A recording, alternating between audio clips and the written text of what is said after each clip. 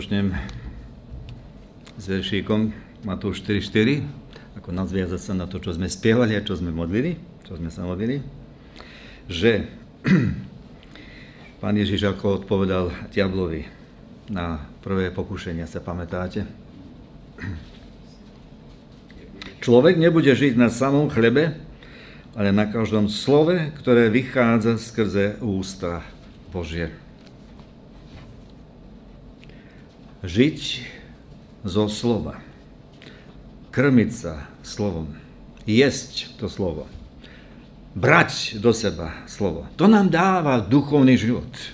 Aké krásne porovnanie máme, čo pán Ježiš hovorí. Áno, to fyzické chlieb nám je potrebný, aby sme fyzicky žili, ale koľko viacej ten duchovný chlieb, ktorý je jeho slovo, aby sme duchovne žili. Akoby spravidle kdekoľvek nevidíme, že ten duchovný život prúdi, že sa vidí, pravdepodobne tá osoba ani nevkladá do seba Božie slovo, nečíta si, nerozmýšľa o nej dňom i nocou, ako prvý žalmista hovorí. A preto sa nemôže podobať ani tomu krásnemu stromu, ktoré je zasadené pri potoku, ktoré prináša ovocie, ktoré je užitočné. Dnes po obede by som skrátka eh, hovoril o chlebe, ktoré pán Ježiš znásobil a v tom príbehu nachádzame jednu osobu, ktorá, bez ktorej osoby vlastne by ten zázrak, ktorý pán Ježiš urobil, nebola, nebolo možné. Je to zázrak, ktorý je zapísaný v každom evaneliu. To je jediný zázrak, ktorý je opísaný aj u Matúša 14. kapitoli, Marka 6. kapitoli, Lukáša 9. kapitoli a tiež u Jána 6. kapitoli. To je zázrak nasýtenia 5 tisíc ľudí, okrem žien a detí. Teda bolo tam, môžeme predpokladať, viac ako 10 tisíc, bar 10 tisíc. Keď sa tam muži, no tak sa tam aj ženy, kde sú ženy, tam sa aj deti, jedno, dve, boli veľké rodiny tak keď sa povie 5000, to je iba mužov. Prečítame si zemen podľa Jána 6. kapitoly a určite spomeniem aj niektoré verši z druhých evaníliov, aby sme voľako dostali čo Vladimír vraví, ucelený pohľad. Evangelista Ján, 6. kapitola, prvých 15 veršov. Potom odišiel Ježiš za Galilejské more Tiberiácké. A išiel za ním veľký zástup, lebo videli jeho divy, ktoré činil pri nemocných. Ježiš vyšiel na vrch a tam sedel so svojimi učeníkmi. A bola blízko Veľká noc, Sviatok Židov. A keď pozdvihol Ježiš oči a videl, že ide k nemu veľký zástup, povedal Filipovi, kde nakúpime toľko chleba, aby sa títo najedli? Ale to povedal na to, aby ho skúsil, lebo však on vedel, čo mal urobiť. Filip mu odpovedal, za 200 denárov chleba im nebude dosť, aby každý z nich čo len niečo málo dostal.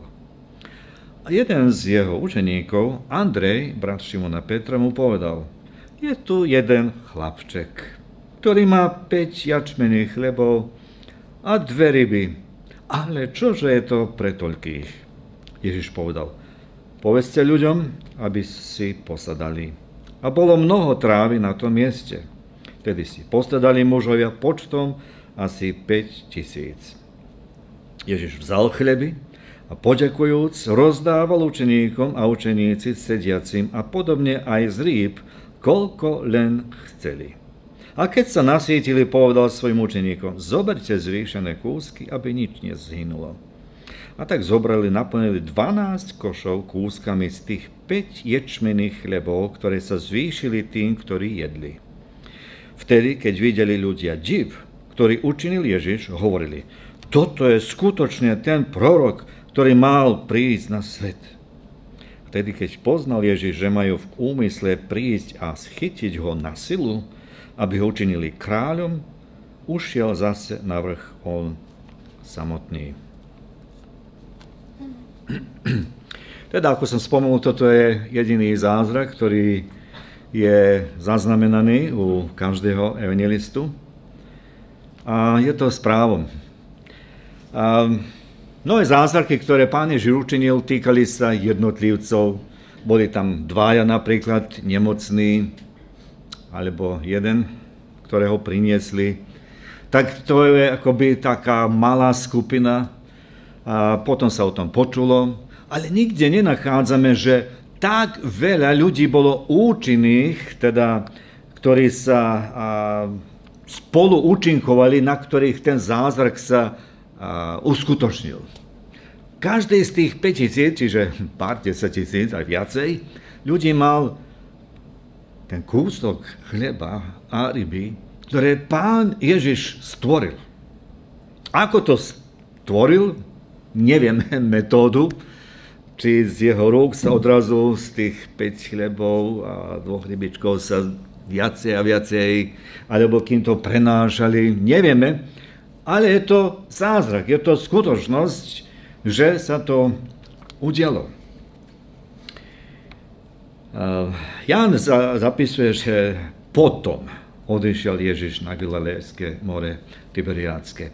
Potom v 5. kapitoli máme opísaný zázrak, ako pán Ježiš uzdravil toho nemocného Bethesde. Asi možno rok, alebo viacej, alebo niečo menej, závisí, ktorý sviatok je opísaný v 5. kapitoli, či to bol, bola Veľká noc, alebo stany.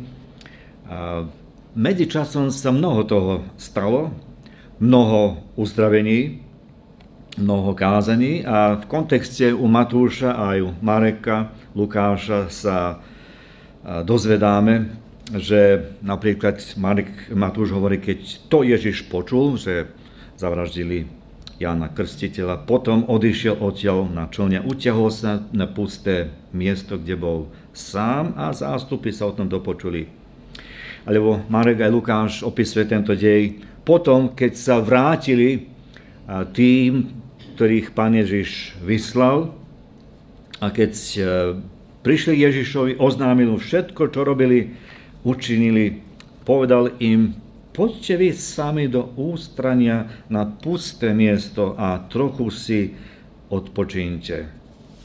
Lukáš hovorí, keď sa apoštoli vrátili, vyrozprávali mu všetko, čo urobili, vzali so sebou a odišli sami do mesta, ktoré sa volá Bethsaida.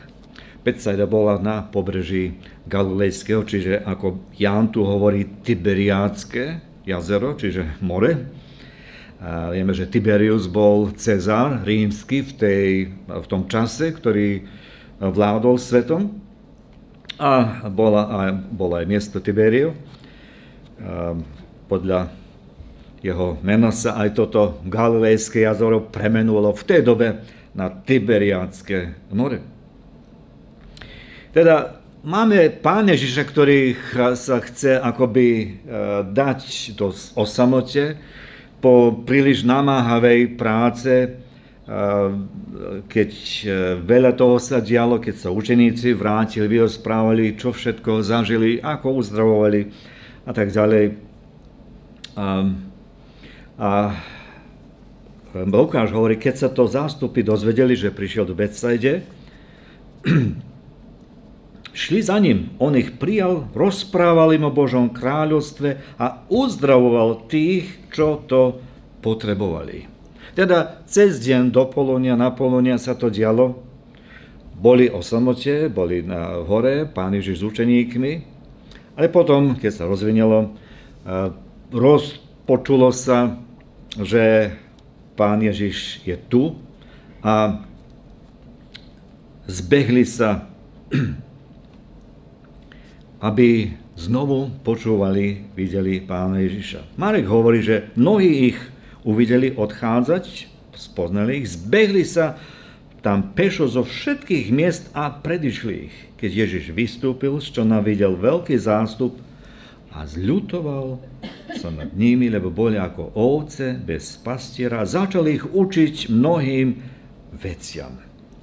Začal ich učiť, začal im kázať, začal im rozprávať o nebeskom kráľovstve. Medzičasom aj uzdravoval. Teda veľmi uh, dlhý deň, aj keď boli o samote, aj sa chceli skryť, aj keď pán Ježiš hovorí, poďme na pusté miesto.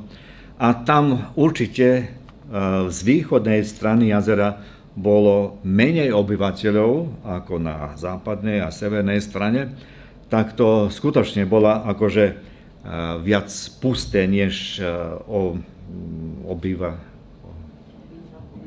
obývané. Bez ohľadu, tam, kde Ježiš, to sa časy jeho popularity, keď sa o ňom začalo počuť, čo on káže, čo on robí, ako uzdravuje, zbehli sa k nemu a zaujímavý je ten pohľad, čo hovorí Marek, zľutoval sa nad nimi, lebo boli ako ovce bez pastiera. Aj Matúš tiež hovorí na druhom meste, ako pán Ježiš hľadí na ľud. A mu je žiav. Vidí, ako nevedia, kam idú.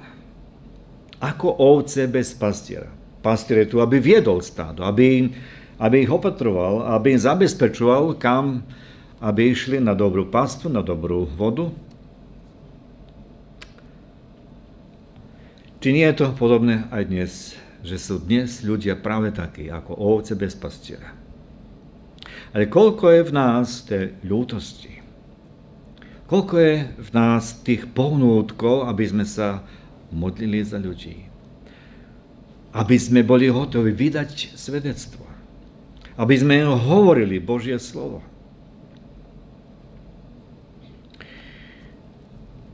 Mnohí z nich prišli aj z takých motivov, aby boli uzdravení. A pán Ježiš robil aj to.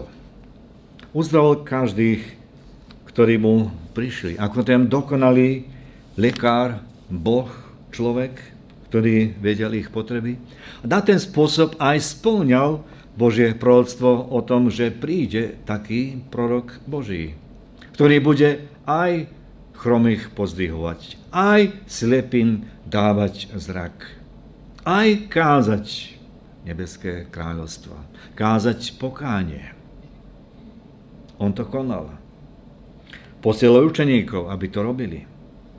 Teraz už, keď deň sa približuje ku koncu, keď je už pozde po obede. A Matúš hovorí, keď sa už zvečerilo, pristúpili k nemu učeníci a povedali, toto je pusté miesto a čas už pokročil. Prepusť, teda zástupy. Marek hovorí, rozpust ľudí, aby sa rozešli po okolitých osadách a dedinách a nakúpili si nejaké jedlo. Lukáš hovorí, rozpu zástup, nech sa rozídu do okolitých dedín a osád. Tam nech si nájdu nocľah a jedlo, lebo tu sme na pustom mieste. Teda veľký dav ľudí, už sa blíži večera, večer, celý deň sa pri Ježišovi. Normálne človek má aj fyzické potreby. Neboli tam shopping mall, big a promenáda, ideme si nakúpiť. Nebolo takých obchodov. Každý si zadovážil doma, čo si pripravil. Nezaujímavo, tí ľudia, tie rodiny, čo prišli, nemali so sebou veľa jedla, nemohli zobrať veľa jedla so sebou. A normálne, že boli aj hladní.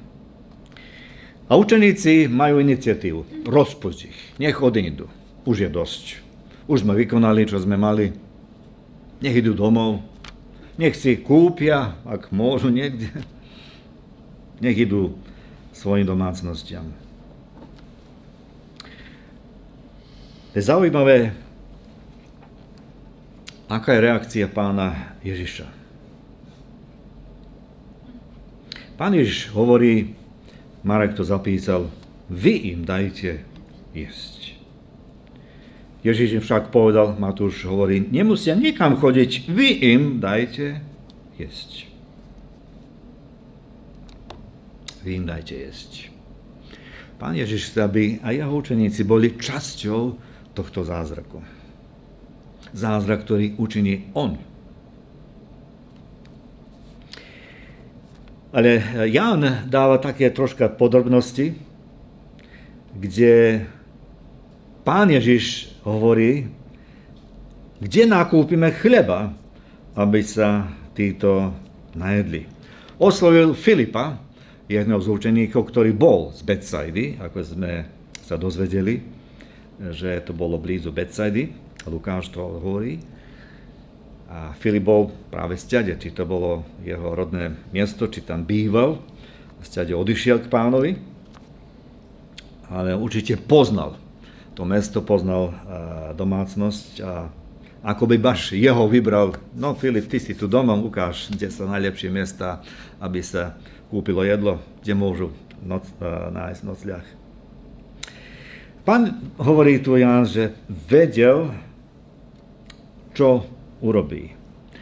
A Filip bol, by sme povedali, taký pesimista. Ani za 200 denárov chleba nebude dosť, aby sa každému ušlo aspoň trochu. 200 denárov, to je 200 nádnic, ako denná mzda. Mohli by sme povedať tak asi 7 mesačná mzda. Čo je to? To je nemožná vec. Tu nachádzame Filipa, ktorý je pesimista. Ale Ondrej, tu nachádzame druhého učeníka, ktorý je známy potom, že privádza druhých. Ondrej priviedol svojho brata Petra. Aj tu a vidím, budeme vidieť, že hovorí o chlapčekovi, s ktorým mal dočinenia, ktorého asi priviedol. Aj neskôršie vidíme, privádza Grékov, pánu Ježišovi, mal taký dar, človek, ktoré, ktorý ľahko získal kontakty, ktorý bol ľudový človek, ľahko sa s ním komunikovalo a ktorý má tú iniciatívu priviesť Ježišovi. On je, by sme povedali, taký realista, ktorý hovorí, je tu chlapec, ktorý má 5 ječmených chlebov a dve ryby. Matúš hovorí, že to učeníci odpovedali, to bol vlastne Ondrej, máme tu iba 5 chlebov a dve ryby, prineste mi ich sem. Teda ten chlapček ešte nebol tu, ale pán Ježiš volá, ak viete o tom, prineste tie chleby, prineste tie ryby, dovedzte tohto chlapca sem. Aký to bol chlapec, ako sa volal, nevieme. Pravdepodobne bol so svojimi rodičmi a mal, čo by sme povedali, havranku. Matúš, Marek aj Lukáš hovorí, hovoria, píšu, že to boli ryby. Kým Jan dáva takú špecifické meno tej ryby, ani ja si to nezapamätám, obsarion a niektorí komentátori hovoria, to boli malé ryby, akoby sardinke dneska. malé rybičky, ktoré by on zjedol sám. Matúš, Marek aj Lukáš všeobecne hovoria o ryboch. Viete, to meno ichtus, to je ryba po, po grécky, kým Jan hovorí špecificky, ak je, aká je to ryba. Teda niečo malé, niečo dostatočné pre jednu osobu, pre jedného chlapca. Aj hovorí ešte 5 jačmených chlebov. Nie pšeničných, ale jačmených. A Tedy sa jačmen považoval aj, že je nie tak, nemá také hodnoty nutritívne by sme povedali, že sa z neho môže lepšie, kvalitnejšie nájsť, tak aj ten jačmený chleb akoby naznačoval, to je chudobný chlieb, to je nie tak e, kvalitný, možno aj tento chlapec prichádzal z, z chudobnejšej rodiny, ale tu je, tu je so svojou rodinou, tu je pri Ježišovi. A on poslúcha, keď ho volá Ondrej, keď vie o ňom, privádza ho Ježišovi. Môžeme povedať, aký krásny príklad tohto chlapčeka. Chlapčeka, ktorý sa dáva k dispozícii. Čo mám, to prinášam. S čím som poženaný, evo to dávam. Či on vedel, čo sa stane s tým? Pravdepodobne nevedel. Prečo? ale bol ochotný zdieľať sa. Bol ochotný obetovať sa. Bol ochotný aj samý možno zostať hladný a chcel to dať k dispozícii Ježišovi. Teda tento chlapec je ochotný dať. Bez tohto chlapca by sa tento zázrak neudiel. Ako malá link, malá linka, či tej kariky. Spojenie e, z tej reťazy, ktoré je potrebné, aby tá reťaz bola. Tu je tento chlapček. Nemenovaný, skromný, nevšimnutý, ale bez ktorého by sa tento zázrak neudial. A v tom nejako vidím aj poučenie pre nás dnes. Sa cítiš, sa cítim malý, nevšimnutý, nevzácný, ale to, čo mám, keď dám Ježišovi, Pán Ježiš požehná. Pán Ježiš to znásobí. Pán Ježiš učení zázrak. A či som ochotný priniesť, obetovať, dať Ježišovi. Ak by som to zadržal pre seba, nebude to poženaním pre mnohých. Možno sa jedného dňa stretneme s týmto chlapčekom v nebi a dozvedieme sa jeho meno. Je to taký malý hrdinovia, nevšimnutý, možno aj taká dievčina, ktorá poukázala svojmu pánovi Námanovi, vieš, tam Izraeli je Boh, je prorok Boží. On ti môže pomôcť, aby si sa zbavil tohto malomocenstva. Nevieme, ako sa volala, ale pomohla svojmu pánovi. A dej je zapísaný v Biblii. Aj tento príbeh je zapísaný v Biblii pre naše povzbudenie, aby sme videli pána Ježiša. On je hlavný hrdina, ale tu je akože spolu s ním malý chlapček, ktorý dáva to, čo má. Pán Ježiš hovorí, prineste to sem, a zostúpil a rozkázal zástupom, aby si posadali na trávu. Boli tak po 50 aj po 100 v takých grupách. Potom vidíme, aký je to poriadok, ktorý pán Ježiš dáva. Môžeme si zamyslieť 5000 ľudí, tu Petrovci, na ihriskách. Masa. Ale keď sa pozadili 50, 50, 100, 50, možno viacej rodín, bolo tam prechod, bol tam poriadok, mohol sa ľahko prechádzať. Máme Boha, ktorý je Boh v poriadku. Aby si, potom hovorí, tak sa posadia na trávu, zelenú trávu, hovorí Marek. Prikázal im, aby všetkých usadili po skupinách na zelenú trávu a posadili, posadali si v skupinách po 100 a po 50. Pripomína nám to 23. 23. žalm pastiera, ktorý dáva svojim ovcam dobrú pastvu. Tu máme nebeského pastiera, Pán Ježiša Krista.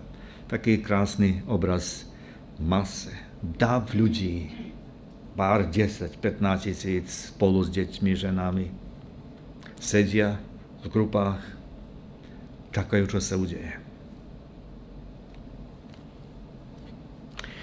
to, čo bolo dané Pán Ježišovi, čo Pán Ježiš robí s tým. Ako sme do polonia si pripomínali, ktoré sloveso? Ďakovať. Čo robil pán Ježiš?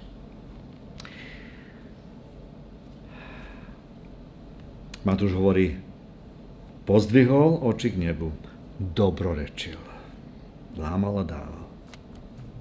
Pozdvihol zrak k nebu, hovorí Marek, dobrorečil, lámal chleby, podával učeníkom. Lukáš pozviel oči k nebu, požehnal ich.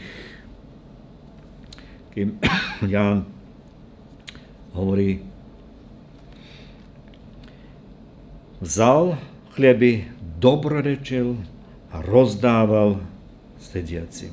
Podobne aj z rýb toľko, koľko chceli. Dobrorečil, ďakoval. Nebeský pán Pán, ktorý stvoril všetko, ďakuje Otcovi za to, čo má, za to, čo mu bolo dané. Diabol ho pokúšal, učin chleb z tohto kameňa. Mohol to pán Ježiš robiť? Mohol. On je stvoriteľ. Z ničoho vytvorí, urobí. Tak z týchto 5 chlieb piatich chlebov, aj dvoch rýb, stvoril oveľa viac, tisíce chlebíčkov, tisíce rýb. Ako to urobil? Nevieme. Ale urobil to. Možno kým roznášali, kým dávali, sa to znásobovalo. Neboli možno ani vedomí toho. Ľudia, ktorí boli posadení, skadial Môžeme rozmýšľať 5000 ľudí, že všetci vedeli, že tam bol ten chlapček, ten doniesol. Ale boli vedomí tohto znamenia. Ľudia, ktorí videli znamenie, čo vykonal Ježiš, hovorili, toto je naozaj prorok, ktorý má prísť na svet. Poznali Božie slova, poznali Božie zasľúbenia, 5. Možišovej, kde hovorí o Možišovi, že on hovorí ľudu, prorok ako ja, keď príde, toho poslúchajte. A tu je väčší než Mojžiš. Tu, tu je väčší než starozákonní proroci, väčší než Šalamón, neporovnateľný. Ale ten prorok, ktorý mal prísť na svet, niečo vedeli o tom. Nie všetci, nie všetci očakávali, že ten prorok skutočne príde, ale očakávali Mesiáša, záchrancu, spasiteľa, ktorý ich na takýto spôsob požená, že im dá aj jesť. To bol zázrak. Pán Ježiš to neurobil každý deň. 40 rokov cítil izraelský ľud, áno, ale Evangelích máme zapísané, že dvakrát to robil. Toto bolo prvýkrát 5000 zástupový, e, zástup od 5000 ľudí a potom máme neskôršie aj 4000. Teda niečo, čo sa opakovalo, ale iba týchto dvakrát. Pán Ježiš nesítil každý deň, že už sa nemysleli trápiť, že ich nemuseli obrábať polia, žatvu mať a svoje záhrady, že máme tu voľak toho, voľakov, ktorý sa postará, aby sme mali jesť v hojnosti. Toto bolo znamenie.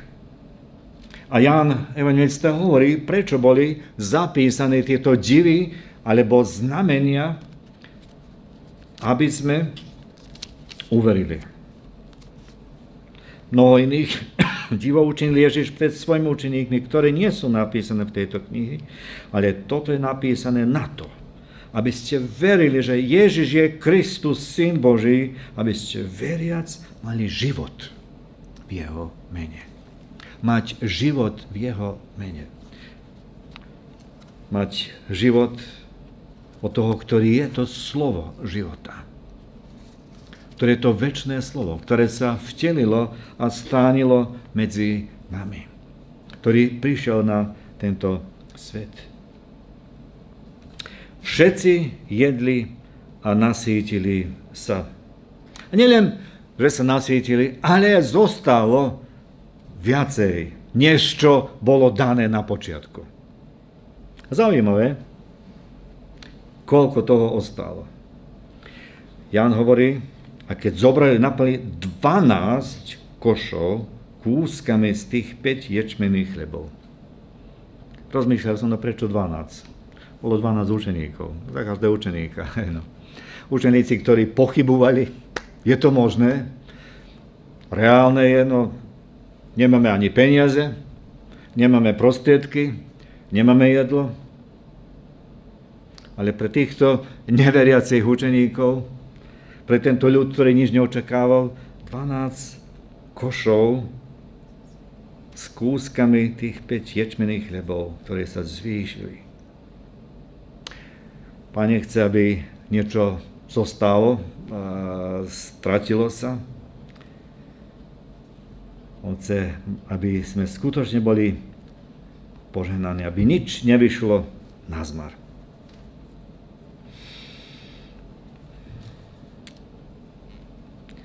Bratia, sestry, aký vzácný máme príklad tu.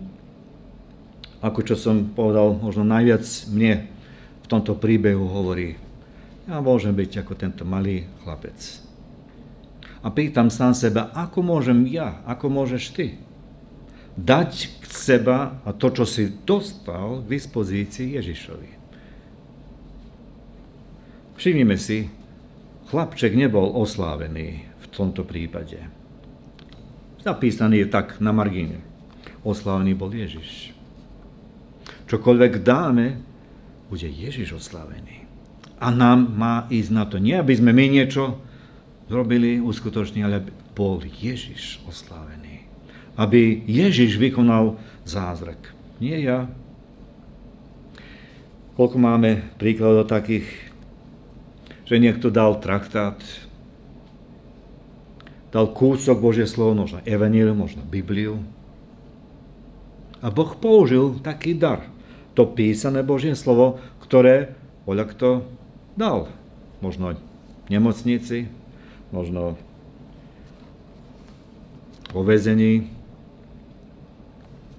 Mám takú karotku, brat e, Steve Lujbrand spravil v zbožnom slade má ako svoj website, tam, kde píše reč Božia.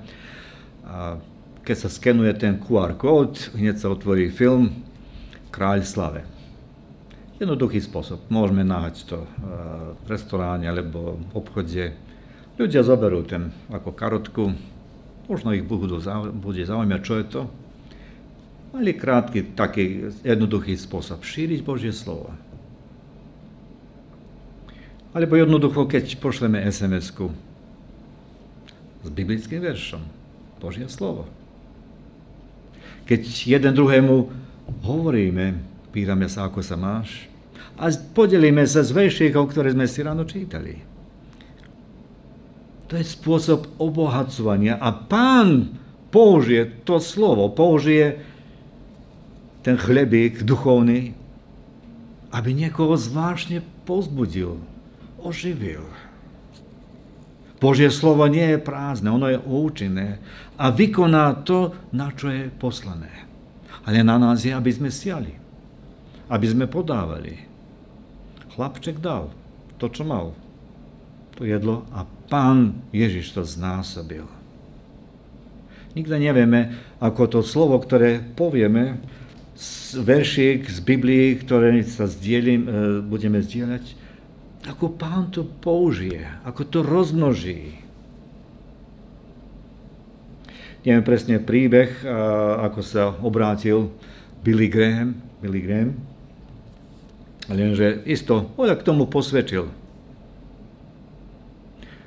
Nikto nevieme.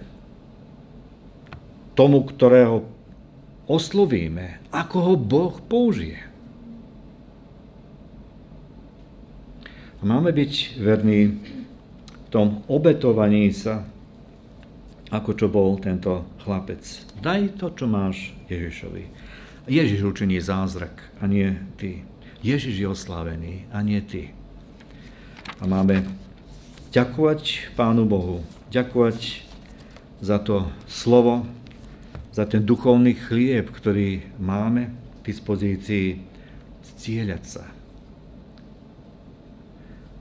Každý po svojej rodine, v škole, príbuzenstve. Koľko sme ochotní dať, dať sa k dispozícii Ježišovi. A On, On učiní. Hoci ako nevšimnutý, Bohu nezáleží o tom, aby nás pozdvihol, aby nás oslávil.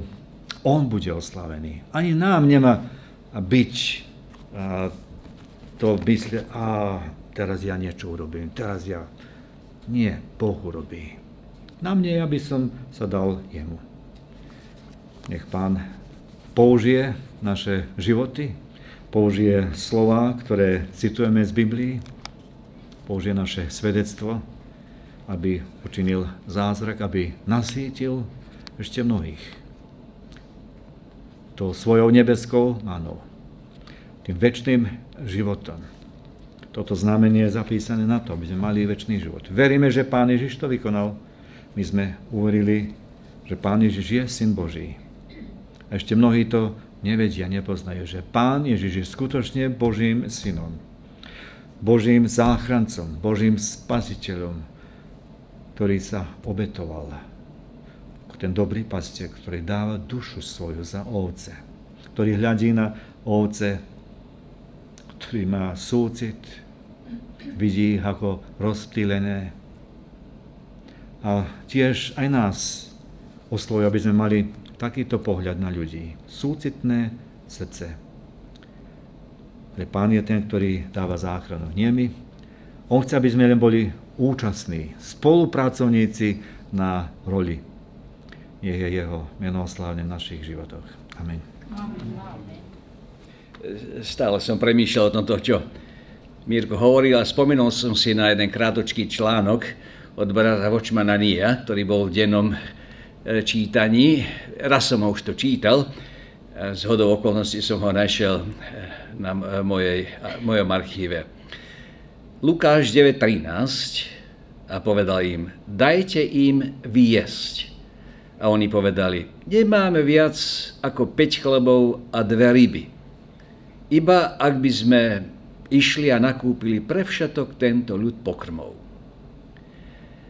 Keď pán Ježiš povedal, dajte im vyjesť, neurobil to preto, že očakával od učeníkov, aby predostreli nejaký svoj plán, ale chcel, aby od neho očakávali zázrak. Podobne ako my, aj oni si zvolili ľahšiu cestu, ktorá nevyžaduje od jednotlivca cvičenie viery alebo modlitby. Ich riešenie bolo ísť nakúpiť. To bol návrh nehodný učeníkov pána Ježiša. To mohli urobiť farizeji a saduceji. Tento príbeh nám odkrýva nedostatok viery a dôvery v pána. V Jánovom evanielu vidíme, že ich mysle boli usmernené na ich vrecká, teda spoločnú pokladňu. Nemáme dosť peňazí. My vidíme iba toľko, koľko môžeme niečo vykonať. Zatvárame však oči pred Bohom a jeho nevyčerpateľnými zdrojmi. Boha však nesmieme merať podľa našich meradiel. Bez ohľadu, čo my môžeme alebo nemôžeme, on očakáva, aby nám zjavil a ukázal zázrak. Základná potreba v našich životoch a Božej službe je spočinutie Božieho požehnania. Nejestvuje žiadna iná potreba. Čo považujeme za Božie požehnanie? Požehnanie je Božie pôsobenie tam, kde k tomu nie je to žiadne vysvetlenie. Napríklad počítaš, že za jeden dinár môžeš kúpiť tovar v tej hodnote. Ale ak nevydáš ani ten dinár a Boh ti dá niečo, čo je hodné 10 tisíc dinárov, tak to nemá nič spoločné s tvojou kalkuláciou. Ak 5 chlebíkov nasítilo 5000 mužov a k tomu zostalo 12 košov úlomkov, Totiž keď výsledok našej služby nie je v žiadnom pomere k našim darom, tak to je požehnanie. Dokonca pred naše slabosti a obmedzenosti nemôžeme očakávať, prepašte, asi premá byť, pre naše slabosti a obmedzenosti nemôžeme očakávať žiadne ovocie a ono sa predsa dostaví, to je požehnanie. Požehnanie je ovocie, ktoré nie je závislé od nás, úspech, ktorý sa nedá hodnotiť príčinou a následkom. Príjmeš požehnanie, keď Boh prevezme veci do svojich rúk, ktoré sú nad ľudskú kalkuláciu. On to robí pre svoje meno. Kto ešte povedal, čo mám, to ti dám. Zlato a striebro nemám, ale mene pána Ježiša vstaň a choď. Aj to je Boží zázrak, Božie požehnanie. Nech nám aj tento príklad pomôže, aby sme viacej verili. A v konečnom dôsledku ďalej pokračovaní e, tohto zápisu v tej 6. kapitole vidíme, že keď pán Ježiš z toho brehu, kde sa modlil, prešiel na druhú stranu, ľudia si všimli a už nasadli do lodí a za ním. Prichádzajú k nemu a on hovorí, prečo prichádzate za mnou? Nie, že ste videli znamenia div, ale že ste sa najedli. A potom im hovorí, že majú iný pokrm hľadať a iné skutky konať. Ktorý je to skutok? Povedz nám, čo máme robiť? Aby ste verili toho, ktorého Boh poslal. Tie znamenia mali za úlohu, aby ľuďom usmernili pohľad na Ježiša Krista, ktorého Boh poslal. A v konečnom dôsledku spása je vo viere v jeho meno, v jeho osobu.